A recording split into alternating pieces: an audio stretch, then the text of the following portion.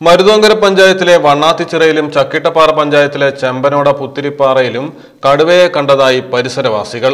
മരുതോങ്കര വണ്ണാത്തിച്ചിറയിലെ സ്വകാര്യ വ്യക്തിയുടെ പറമ്പിൽ rubber tapping ചെയ്യുന്ന തൊഴിലാളിയാണ് ആദ്യം കടുവയെ കണ്ടത്.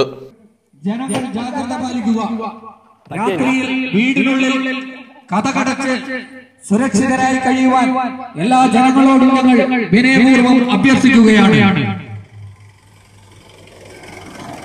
പ്രിയമുള്ളവരെ വണ്ണാത്തിച്ചിറ സെൻട്രൽ പാർക്ക് ചെമ്പനോട പ്രദേശങ്ങൾ കേന്ദ്രീകരിച്ച് കടുവയുടെ സാന്നിധ്യം സ്ഥിരീകരിക്കപ്പെട്ടിട്ടുണ്ട്.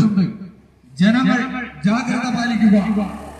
രാത്രി വീടിനുള്ളിൽ കഥകടച്ച് പറമ്പിൽ നിന്നും റോഡ് മുറിച്ച് കടന്ന് കടന്തറപ്പുഴയിലൂടെ ചക്കിട്ടപ്പാറ ചെമ്പനോടയിലെ പുത്തിരിപ്പാറയിലെ റബ്ബർ തോട്ടത്തിലേക്ക് കയറി ഇവിടെ വെച്ചും നാട്ടുകാർ കടുവയെ കണ്ടു. സ്ഥലത്ത് പരിശോധന നടത്തിയ ഫോറസ്റ്റ് അധികൃതരും കടുവയെ കണ്ടതായി പറയുന്നു. പറമ്പിൽ നിന്നും റോഡ് മുറിച്ച് കടന്ന് വണ്ണാത്തിച്ചിറ ഭാഗത്തേക്ക് ഓടിപ്പോയ കടുവ നാട്ടുകാരുടെ ബഹളം കേട്ട് ചെമ്പനോട പുത്തിരിപ്പാറ ഭാഗത്തേക്ക് തന്നെ വീണ്ടും തിരിച്ചു വന്നു.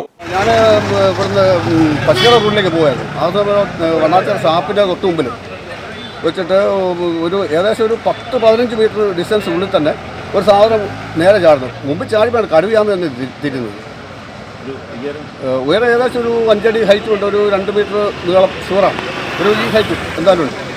അപ്പോൾ നേരെ ചാടിയിട്ട് ഈ കടത്തപ്പുഴ ഭാഗത്തേക്കാണ് പോയിരിക്കുന്നത്. അപ്പുറത്തും ആൾക്കാർ ജനവാസ മേഖല ആയതുകൊണ്ട് ആൾക്കാർ ജാഗ്രത പാലിക്കേണ്ട ആവശ്യമുണ്ട് സ്ഥലത്ത് താമരശ്ശേരി പെരുവണ്ണാമൂഴി റേഞ്ച് ഓഫീസർമാരുടെ നേതൃത്വത്തിൽ പരിശോധന ശക്തമാക്കി. ചെമ്പനോട വണ്ണാത്തിച്ചിറ പുത്തിരിപ്പാറ ആലമ്പാറ കുറത്തിപ്പാറ കാട്ടികുളം എന്നിവിടങ്ങളിലുള്ളവർ ജാഗ്രത പാലിക്കണമെന്ന് ഫോറസ്റ്റ് അധികൃതർ അറിയിച്ചു. റിപ്പോർട്ടർ രഘുനാഥ് കുറ്റിയാടി.